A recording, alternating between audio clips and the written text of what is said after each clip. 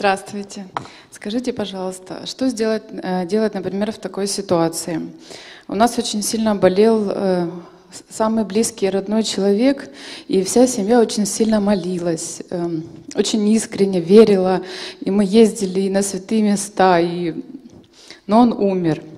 Не умер, а ушел из жизни. Ну да. И теперь у всей семьи э, идет ну, глубокое очень сильное разочарование именно вот в Боге, в молитве, хотя я понимаю, что выход именно только в этом. Почему разочарование? Вы чего хотели? Человек пошел в рай, вы его очистили, и он пошел в рай. Все. Он сейчас там испытывает счастье. Все. Но они он этого... становится ангелом-хранителем вашим. Ну, это же нужно понять. А вот я вам и говорю, что это надо понять. Потому что Ну, у нас свои планы, у Бога свои планы. Да, вот я, например, он вас это заставил поня- молиться, думая, вот сейчас я его в рай, давайте молитесь. И он в рай сразу. Он так здорово, ну молодцы, отмолили, все, пошел в рай, отлично.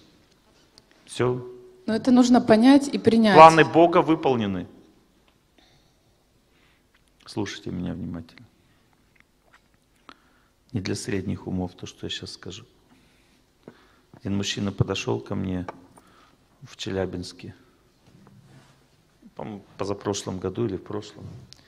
Говорит, Олег Геннадьевич, у меня была очень возвышенная семья, все молились. Сначала ушел из жизни мой ребенок от болезни. Мы перенесли это. Потом ушла из жизни жена. Тоже как-то смогли перенести. Потом оставшиеся двое детей один за другим ушли в жизни. Все. Я остался один. У меня была очень возвышенная семья. Мы любили друг друга, у нас не было конфликтов, как вы говорите в лекции. Они все ушли из этой жизни. Я что, проклятый? Почему так получилось все?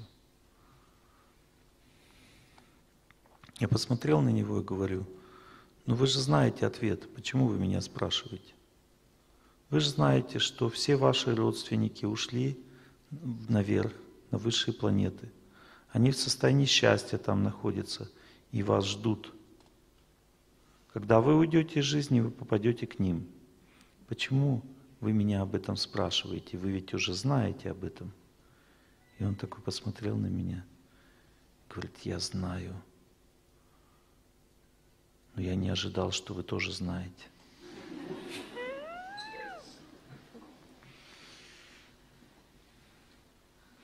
Говорит, я сказал Богу, если Он скажет мне то же самое, значит, я тебе поверю. И он пошел счастливый и говорит, я все знаю, спасибо, все, я все знаю. Я знал это раньше, я это чувствовал, что они меня ждут, что они счастливы. Но я не хотел это принимать, мне было обидно, что я остался здесь. Поэтому я страдал, но теперь я не буду страдать, все. И он пошел счастливый. Это не для средних умов, то, что я сейчас говорю, понимаете? Не для средних. У вас та же самая ситуация. Человек пошел вверх, он счастлив, он вас ждет. Вы же знаете об этом или нет? Вы знаете об этом? Ну, я это знаю, но родственники этого понять не могут. Если я им скажу, что он вас ждет, то это их приблизит больше к суициду какому-то. Ну, Ну не говорите им об этом. Ну вы знаете же. Почему тогда вы страдаете, скажите мне? Почему мы считаем, что мы за Бога должны решать, кто где будет жить? М? Мы что, боги здесь, что ли, собрались? Бог сам решает, кто где будет жить.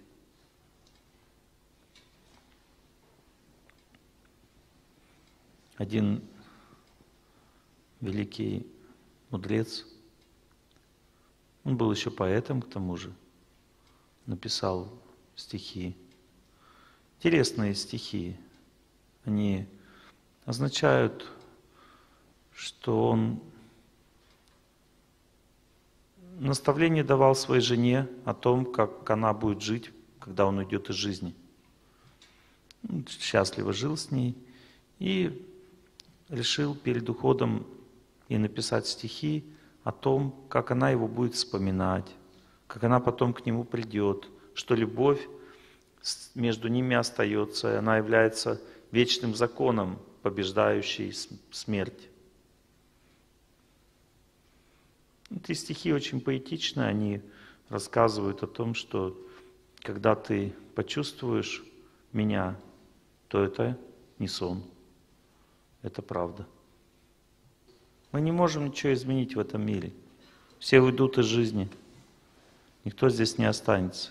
Уйдут в другую жизнь, дальше, пока в вечную жизнь не попадут.